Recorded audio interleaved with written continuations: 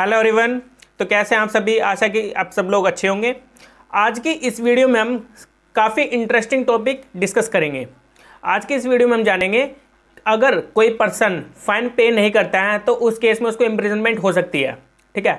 तो इसमें हम यही जानेंगे आईपीसी में, जो इसमें प्रोविज़न दिए गए हैं कि अगर कोई पर्सन फाइन पे नहीं करता है तो उस केस में उसको कितनी पनिशमेंट होगी? कितनी उसको इम्प्रिजनमेंट होगी? ठीक है? और कैसे होगी? और कब होगी? ठीक है? तो चलिए जानते हैं इसमें। तो इसमें हम सेक्शन 63 से लेकर के सेक्शन 70 तक ये सेक्शन जानेंगे, जिसमें आठ सेक्शन इंक्लूड होते हैं नॉन पेमेंट ऑफ़ फाइन के।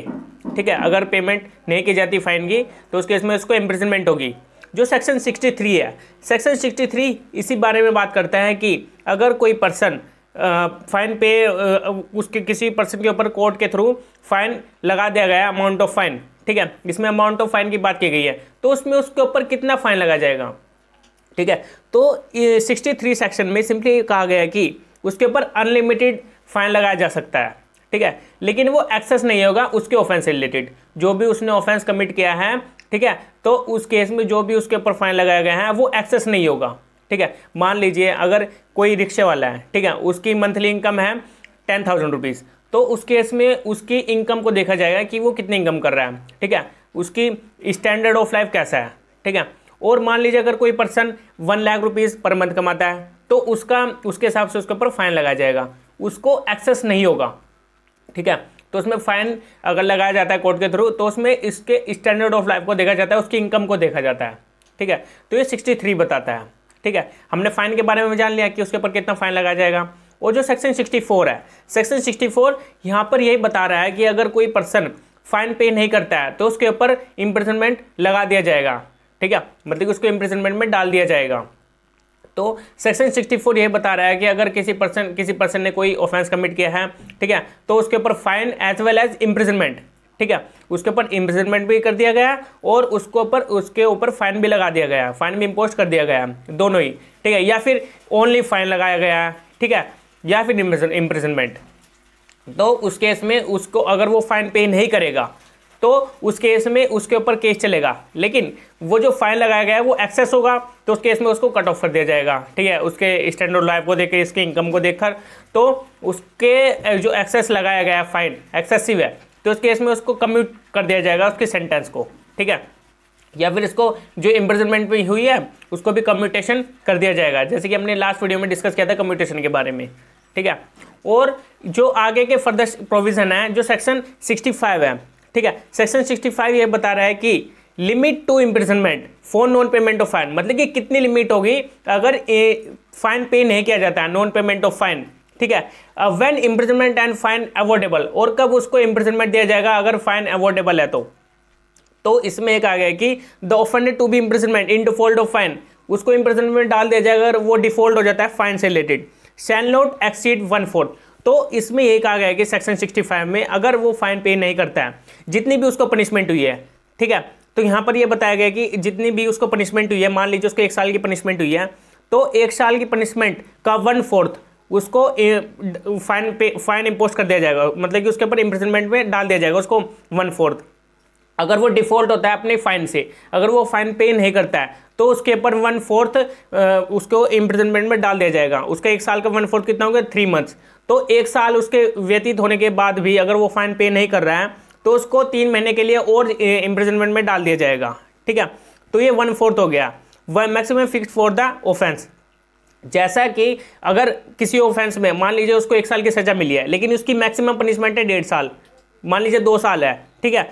तो उसको दो साल मैक्सिमम पनिशमेंट है। तो उस केस में उसको उसके ऑफेंस के मैक्सिमम पनिशमेंट को देखा जाएगा। तब जाकर उसका वन फोर्थ उसको पनिशमेंट होगी। ठीक है? अगर उसको एक साल की सजा मिली है तो उसको मिनिमम मिली है तो वन फोर्थ को काउंट किया जाएगा। वन फोर्थ का कितना होगा? सिक्स मंथ तो उसको सिक्स मंथ के लिए इम्प्रिजनमेंट में डाला जाएगा। अगर वो डिफ़ॉल्ट होता है फाइन से। ठीक है? Punishable with imprisonment as well as fine तो उसके ऊपर अगर वो फाइन पे नहीं कर रहा है तो उसके ऊपर दोबारा से फाइन भी इम्पोज किया जा सकता है। सेक्शन 65 यही बताने की कोशिश कर रहा है कि अगर कोई पर्सन डिफ़ॉल्ट होता है फाइन देने से तो उस केस में उसको कितने टाइम तक उसको जेल में डाला जाएगा अगर वो डिफ़ॉल्ट होता है। उसके जो पहले वाले, जो उसको इम्प्रेसमेंट मिली है साथ के साथ imprisonment as well as fine ठीक है? तो उसमें जो भी इम्प्रेसमेंट मिली है उसका वन फोर्थ ठीक है? और या फिर उसके मैक्सिमम पनिशमेंट को देखा जाएगा। तो ये सेक्शन 65 बता रहे हैं। और जो उसको पनिशमेंट मिली है तो आगे का जो फर्दर प्रोविज़न है वो 60 66 बता रहा है आईपीसी का कि अगर वो जो उसको पनिशमेंट मिली है तो उसमें कोर्ट के पास पावर है, उसको रिग्रेस इम्प्रिजनमेंट में भी डाल सकती है या फिर सिंपल इम्प्रिजनमेंट में भी डाल सकती है। ठीक है? उसको सेंटेंस दे सकती है ऑफेंस से रिलेटेड जो भी उसको इम्प्रिजनमेंट दी गई है, अगर वो डिफ़ॉल्ट हो जाता है फाइन से रिलेटेड तो उस केस में कोर्ट उसको डिग्रेस इम्प्रिजनमेंट भी दे सकती है या फिर सिंपल इम्प्रिजनमेंट डिग्रेस इम्प्रिजनमेंट का मतलब मतलब उसको हार्ड लेबर उसको कराया जाएगा। ठीक है? जब तक वो जेल में रहेगा। और सिंपल इम्प्रिजनमेंट का मतलब उसको, उससे कुछ नहीं काम कराया जाता। ठीक है? वो एक किस्म से खाली रहता है जेल में। तो ये सिक्सटी सिक्स बताता है। ठीक है? तो उसको कितनी रिगेस होगी? सिंपल होगी। ठीक है? और जो सेक्शन 67 है आईपीसी का, उस, उसमें बताया गया कि imprisonment for non payment of fine when offence punishable with only fine तो सेक्शन 67 ये बताने की कोशिश कर रहा है कि अगर किसी पर्सन के ऊपर किसी ऑफेंस में ओनली फाइन लगाया गया था उसके ऊपर। उसको साथ में इम्प्रिजनमेंट नहीं दी गई थी। उसके ऊपर सिर्फ़ फाइन इम्पोज किया गया था। ठीक है? तो उस केस में उसको पनिशमेंट कैसे होगी? जैसे कि हमने अभी सेक्शन किसमें पढ़ा था? सेक्शन 65 में। ठीक है? वैन इम्प्रिजमेंट फाइन अवॉर्डेबल तो उसमें उसको क्या हुआ था? वन फोर्थ की पनिशमेंट दी गई थी। सेक्शन 65 में। सेक्शन 65 में वन फोर्थ की पनिशमेंट दी गई थी। उसकी इम्प्रिजनमेंट को देखकर, जिसमें एज वेल एज उसको फाइन और इम्प्रिजनमेंट हुई थी। ठीक है? लेकिन 67 में ये बताया गया कि अगर उसको, उसके ऊपर फाइन लगाया गया ओनली उसको इम्प्रिजनमेंट नहीं दी गई है तो उस केस में उसको कैसे काउंट किया जाएगा? कि उसको कितनी पनिशमेंट होनी चाहिए in default of payment of fine ठीक है? तो 67 यही बताने की कोशिश कर रहा है। अब मान लीजिए, अगर किसी पर्सन ने, के ऊपर फाइन इम्पोज किया गया था, कब तक का? फिफ्टी रुपये तक का। मतलब कि पचास रुपये तक का उसके ऊपर फाइन लगाया गया था। ठीक है? अगर वो डिफ़ॉल्ट होता है, ठीक है? तो उस केस में उसको दो महीने की सजा होगी। ठीक है, ये सिक्सटी सेवन बता रहा है, ठीक है, उसको दो महीने की सजा होगी। अगर वो उसके ऊपर फाइन लगाया गया था पचास से लेकर के सौ रुपये तक का तो उस केस में उसको चार महीने के लिए जेल में डाला जाएगा, ठीक है।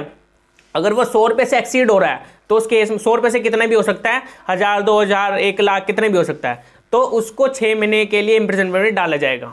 तो ये यहाँ पर एक किस्म से यहाँ पर ये बताया हुआ है एक स्केल कि किस स्केल में कितना इम्प्रिजनमेंट है, ठीक है? पचास से लेकर होगा, पचास सौ रुपये तक का उसके ऊपर फाइन लगाएगा अगर वो डिफ़ॉल्ट हो जाता है तो उस केस में उसको दो महीने के लिए डाला जाएगा। पचास से लेकर सौ सौ रुपये तक का उसके ऊपर फाइन लगाया गया, वो डिफ़ॉल्ट होता है पेमेंट फाइन देने से तो उसको चार महीने के लिए जेल में डाला जाएगा। और सौ रुपये से एक्सीड हो रहा है, ठीक है? तो उस केस में छः छः महीने तक उसको जेल में डाला जाएगा।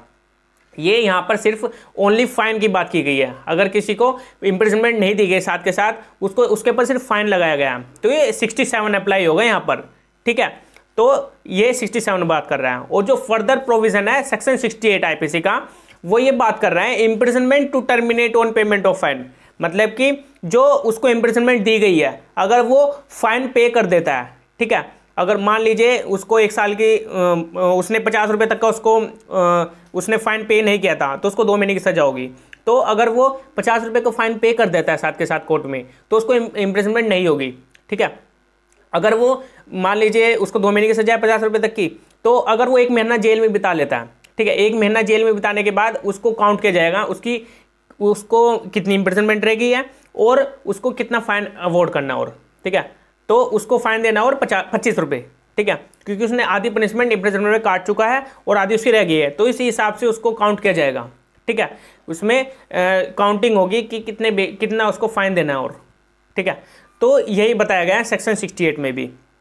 और जो सेक्शन 69 है, इसमें भी ये बात की गई termination of imprisonment on payment of part of fine तो 68 सिंपली ये बात कर रहा है कि उसकी इम्प्रिजनमेंट को टर्मिनेट टर्मिनेट कर दिया जाएगा। अगर वो पेमेंट कर देता तो, कर देता है तो फाइन की। ठीक है? और 69 भी यही बात कर रहा है। लेकिन 69 में ये बताया गया कि अगर इन पार्ट अगर वो फाइन पे करता है मान लीजिए उसको उसको फाइन देना था एक हज़ार रुपये ठीक है? अगर वो पार्टली वो देता है अपने फाइन को ठीक है? मान लीजिए उसको छः महीने की सजा हुई है ठीक है? और उसको फाइन देना है एक हज़ार रुपये ठीक है? अगर वो टर्मिनेट कराना चाहता है तो उसको प्रोपोर्शन बेस पर प्रोपोर्शनली कि वो, वो उसको फाइन को पे करे। ठीक है, उसके ऊपर हज़ार रुपये का फाइन था तो वो ढाई सौ ढाई सौ रुपये पे कर सकता है। और उसी हिसाब से उसकी जो पनिशमेंट है छः महीने की, उसको भी रिडीम कर दी जाएगी। ठीक है मतलब कि उसको भी हटा दिया जाएगा। ठीक है मतलब कि अगर उसने हाफ़ पेमेंट कर दिया कितने रुपये पाँच सौ रुपये तो उस केस में उसकी जो इम्प्रिजनमेंट है छः महीने की, उसको रिडीम कर दिया जाएगा। मतलब हटा दिया जाएगा, तीन महीने से कर दिया जाएगा फिर। ठीक है, अगर तीन महीने से पहले ही अगर वो पेमेंट कर देता है पाँच सौ रुपये बाकी के तो उस केस में उसकी पनिशमेंट को टर्मिनेट कर देंगे। ठीक है?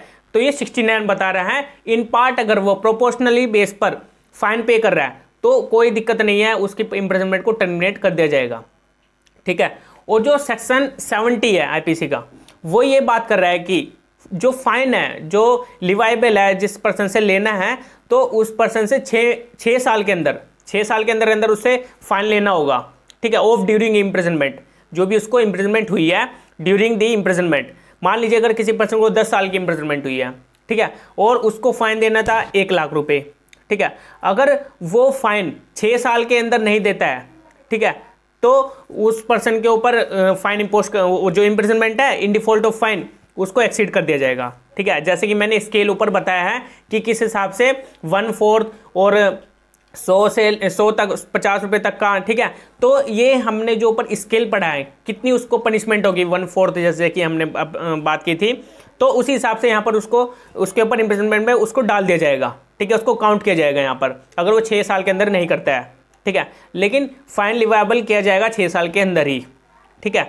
तो यही यही बात कर रहा है। और अगर उस पर्सन की इम्प्रिजनमेंट जो इम्प्रिजनमेंट उसको डाला गया था ड्यूरिंग द इम्प्रिजनमेंट उस पर्सन की डेथ हो जाती है। उस अक्यूज पर्सन की, जिस पर्सन को फाइन पे करना था, ठीक है? तो उस केस में उसकी प्रॉपर्टी से रिकवर किया जाएगा, वो फाइन ठीक है? वो डिस्चार्ज नहीं होगा डेथ के बाद भी, ठीक है? उसको डिस्चार्ज नहीं किया जाएगा, उसकी प्रॉपर्टी से फ्रॉम लाइबिलिटी जो भी उसकी लाइबिलिटी बनती है, ठीक है? तो लेकिन जो उसके लीगल हायर है, जो उसके बेटे हैं, ठीक है? तो उस केस में उन पर्सन को लाइबल ठहराया नहीं जाएगा, ठीक है? मान लीजिए अगर उसकी पनिशमेंट रह रही थी, ठीक है, उसको दस साल की पनिशमेंट मिली भी थी तो उसने पाँच साल की पनिशमेंट काट काट ली थी, लेकिन पाँच साल की पनिशमेंट उसके बेटे नहीं काटेंगे, ठीक है? उनके बेटे को लिबर्टी दे दिया ठीक है? सेक्शन सेवेंटी यही बात कर रहा है। लेकिन उसको डिस्चार्ज नहीं किया जाएगा उसकी प्रॉपर्टी से। जो भी उस अक्यूज पर्सन की प्रॉपर्टी थी तो उसको, उसकी जो फाइन है वो रिकवर किया जाएगा उसकी प्रॉपर्टी से, ठीक है? वो अपनी लाइबिलिटी डिस्चार्ज नहीं होगा डेथ के बाद भी। तो ये सेक्शन सेवेंटी बात कर रहा है। ठीक है? आज की इस वीडियो में हमने अच्छे से जान लिया है कि अगर कोई पर्सन फाइन पे नहीं करता है तो उस केस में उसको कितनी सजा होगी और कैसे होगी, क्यों और कोर्ट के पास कितनी पावर है, ठीक है? तो आज हमने जान लिया है यही, ठीक है? तो आज की इस वीडियो में इतना ही था। अब हम अपनी नेक्स्ट वीडियो में